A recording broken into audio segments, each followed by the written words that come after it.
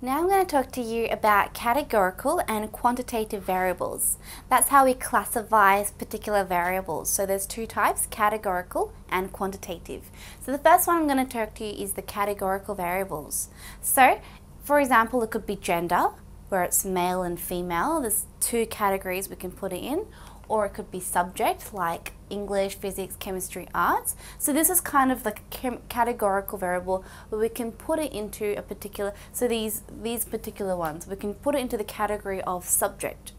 Or these male and female, we can put it into the category of gender. So that's how we can, so it's like how we can group them up into a particular category. That's categorical variables.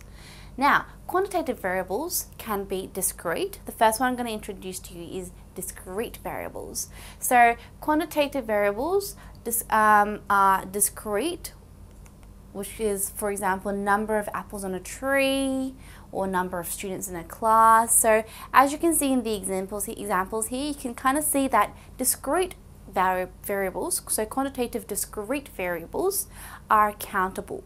Okay, so we can count the number of apples on a tree. We can count the number of students in a class, right? So that's kind of like discrete quantitative variables. And continuous. So the second one is continuous, which is, for example, weight of a person. We can't count the weight of a person, right? It's like a measurement. Or time taken to run a 100 meter race. So we can't actually count the time, right? It doesn't make sense. So those kind of ones, we call it continuous.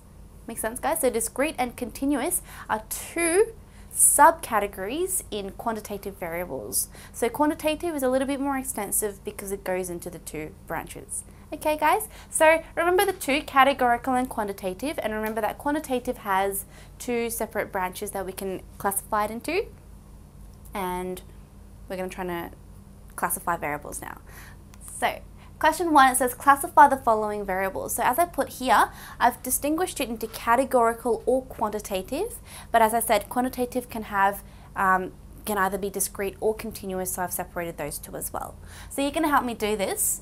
Let's do A, number of books. Now number of books is a quantity, isn't it? So we're going to be quantitative. But can we count the number of books?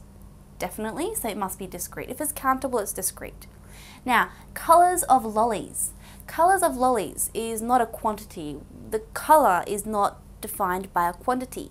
Rather, it's a category, right? Colors can be red, blue, green. We can categorize it into color of a lolly, so it's categorical. Now, see, brand of a car. Yeah, brand of a car like Mitsubishi, Honda, or something like that. We can kind of categorize it into a brand, so it's categorical. Um, temperatures. Now temperatures, say 100 degrees Celsius, 37.5 degrees Celsius, these kind of things are temperatures, isn't it? Now, it's not a category, it's rather a quantitative measure, isn't it? But ask yourself, is it going to be countable? Can we count temperature? No, we can't. So it must be a quantitative continuous variable. Now, height of trees. Now, height of trees is a quantity, isn't it? But again, ask yourself, is it countable? Can we count height? That does not make sense, so it must be continuous um, variable. Now, number of cars. Now again, number of cars is a quantity. A number is a quantity. But can we count the number of cars? Yes, we can. If it's countable, it must be discrete. Now we'll do one more. Amount of water. Amount of the water is again a quantity, isn't it? It's a quantitative measure. So again, ask yourself, can we count the amount of water?